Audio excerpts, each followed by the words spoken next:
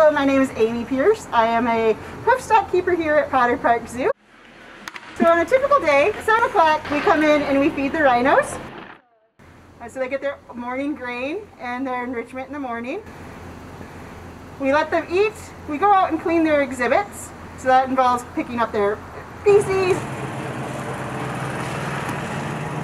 any leftover food, uh, giving them new enrichment, picking up browse, the old branches that we have out there.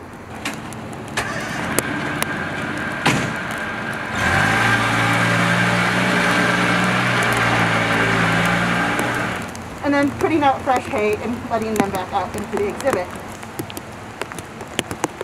We typically try to get them out before 9 o'clock. Most of the time it works pretty well.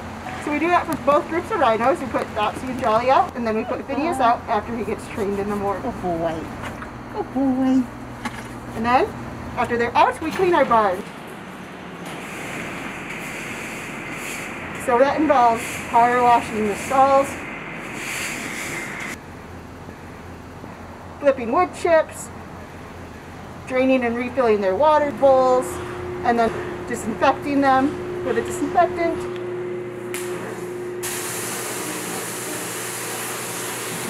Squeegeeing them and making sure their floors are nice and dry so that their feet stay nice and healthy. And then after that, uh, we do training again uh, and enrichment again and, and giving them extra food.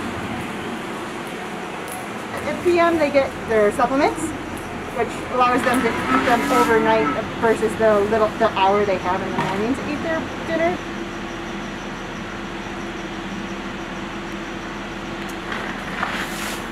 At the end of the day, we go close up the barn.